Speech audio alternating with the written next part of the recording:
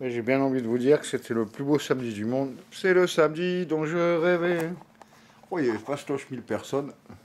Christophe L, c'est mes initiales en plus. Tu vois.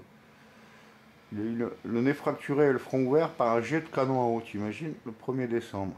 Commençait bien l'année. Enfin, ça finissait bien.